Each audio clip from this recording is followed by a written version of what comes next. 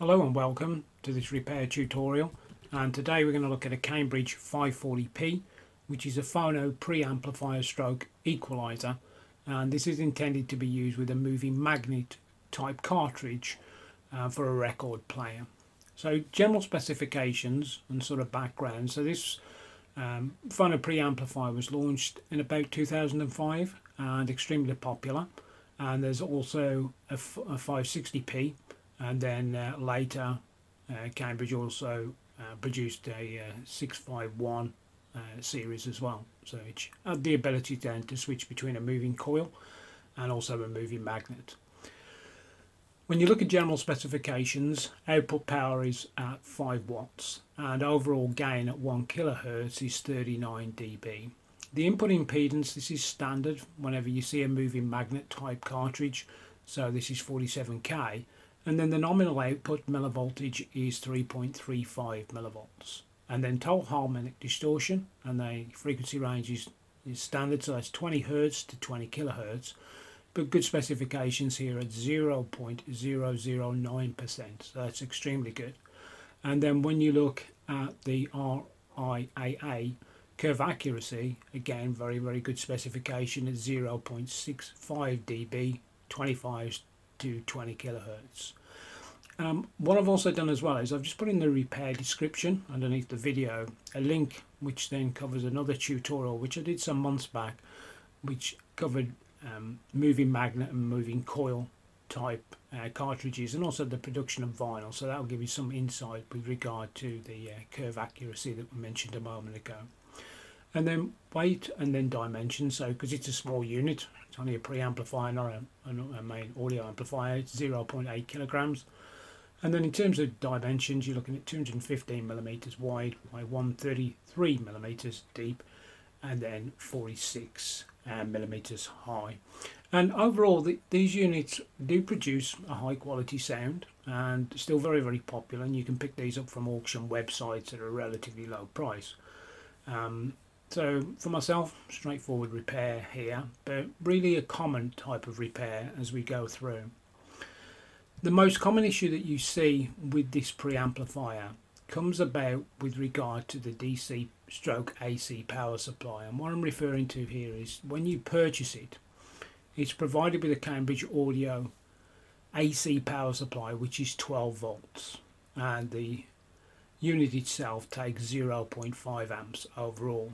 Now, I don't know how this happens, but at some point in time, the original power supply appears to get disconnected from, from the unit, right? So when they come up like on auction websites, or even, for example, you get reports where they have failed, commonly what you'll receive is no power supply at all with the unit, or you'll receive it with a DC power supply. So someone has gone off and purchased a replacement power supply but has automatically assumed that it's DC and it isn't not at all.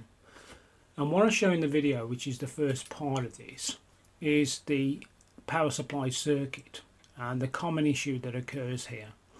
So the AC power supply as we mentioned should be 12 volts 500 milliamps.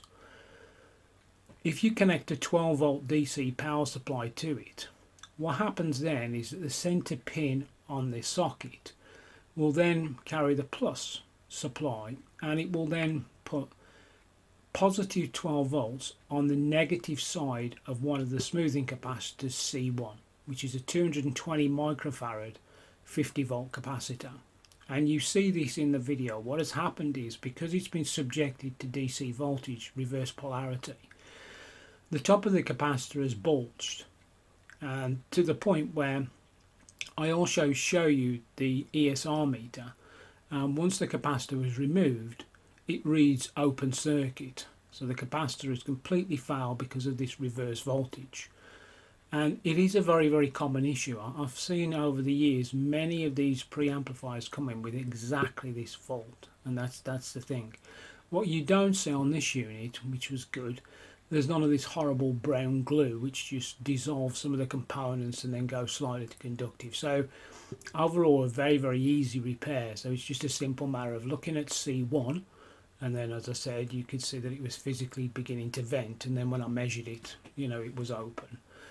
what I do is I also uh, source a replacement power supply but I don't tend to look for a 500 milliamp unit I'll just provide a 12 volts AC unit at one uh, 1000 milliamps or 1 amp and that's that's more than good enough.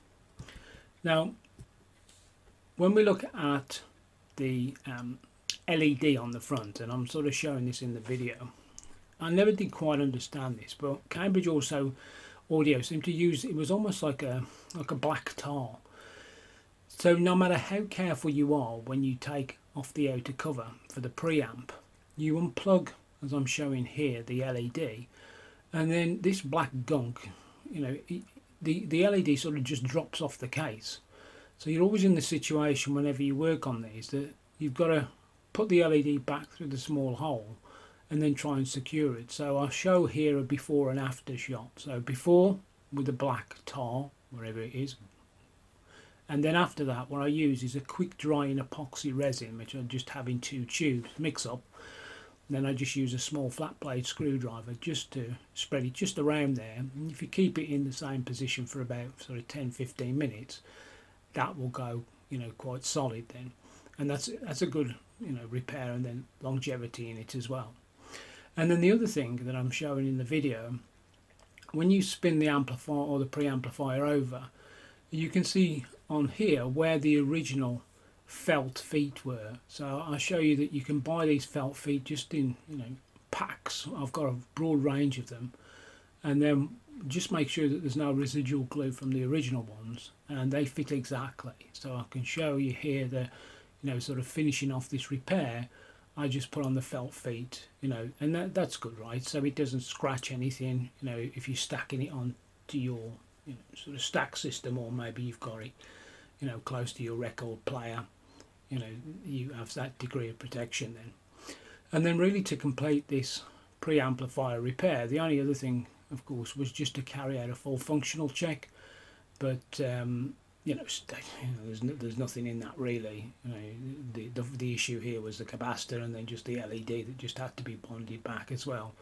The the other part probably to mention with the main board it clips into these plastic standoff pillars uh, sometimes what you can find is during manufacture they're extremely tight. So no matter even if you get a pair of you know, long nose pliers and squeeze them in just to release uh, you tend to find one side or, or the other you know really really tightly held in position then. And you kind of think oh you know is this ball going to crack? But there's enough flex on there. And what I would say is if it doesn't sort of lift on the first attempt you know go back again and then you know try and squeeze it even harder. And then you should be able to just pop that edge pin off then and overall build quality for these preamps is very good.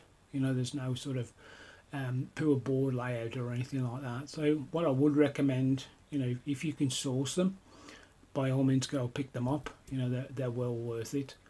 And then that really brings us to the end of this repair tutorial. So again, if you have any questions, by all means email audio amplifier servicing at aol.com and I'll be more than happy to come back and then provide you any guidance or assistance that you may require.